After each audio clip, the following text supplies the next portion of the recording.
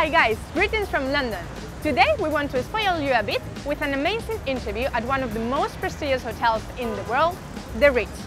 Ben Dalton is an alumni from Lyon who currently holds the position of reception manager at the hotel. Let's see what we can learn from him.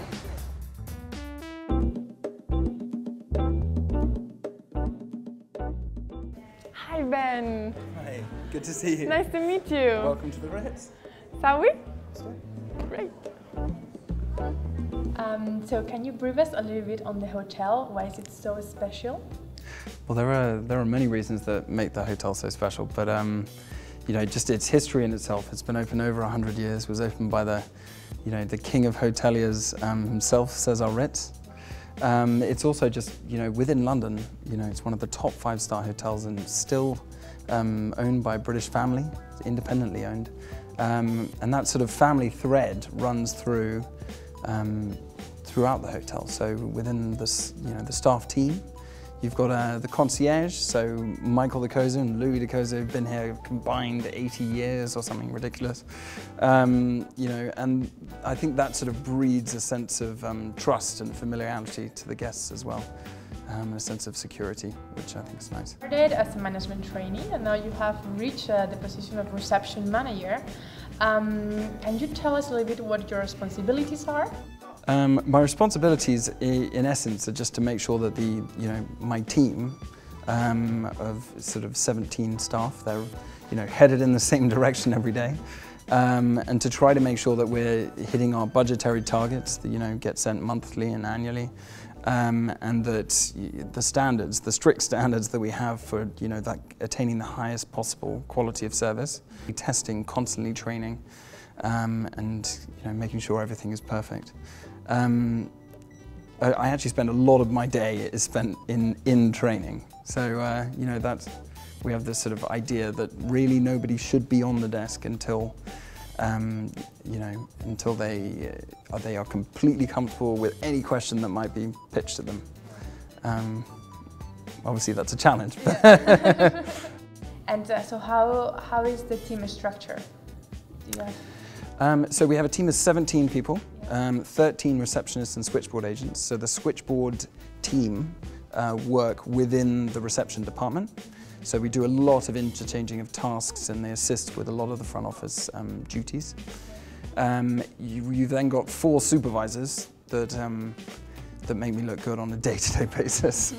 Um, but I, it's important to note that all the receptionists, we don't hire any supervisors externally. We just haven't. Every single one of our supervisors have, um, have been grown out of um, the team that we have existing. So anybody that we hire is, you know, somebody that we can see progressing in the hotel and that we want to develop. So Sebastian Canora is the front office manager and I report directly into him. Um, he looks after uh, five different departments. He's, he looks after the salon, the butlers, the concierge team, the assistant managers, and reception as well. Um, so he has a lot of responsibility, that I report into him. typical day look like?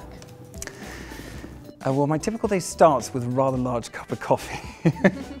um, we start, you know, very we, early bird catches the worm. Essentially, we I'm here by seven o'clock each day, um, which sounds difficult, but actually it's, it makes the day a lot easier because um, it's all about preparation. The only way that we're going to succeed in getting everything right is by being prepared in the morning. So uh, we do a handover in the morning at seven, um, and I essentially am building my knowledge about what's going to happen that day until the nine o'clock morning meeting, where I'm going to sit in front of a whole bunch of people. Um, you know, heads of departments and the hotel manager, who are all going to be asking lots and lots of questions in bullet, you know, bullet speed, and I've got to be able to um, to try and sound like I know what I'm talking about, um, which is um, a challenge. um, the but from there from there it's easy. So uh, from there it's just you know it's the day. So we're um, we're dealing with guests. You know we're organising for the next day. We're you know doing VIP arrivals. We're checking rooms. You know we're doing trainings. Um, the nice thing about it is that um, we we know where we're starting the day, but we genuinely have no idea where we're going to end up at the end of it, which is what makes it so much fun.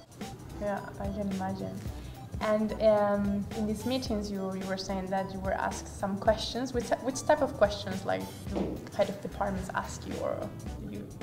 Yeah. Oh, you'll get, you could get you could get anything from you know whether a certain you know bathroom has a stall shower or the color scheme in a particular on the drapes um, to you know the type of coffee that a particular guest likes that hasn't been updated in the profile. Um, and what you've done to ensure that he gets offered the right thing.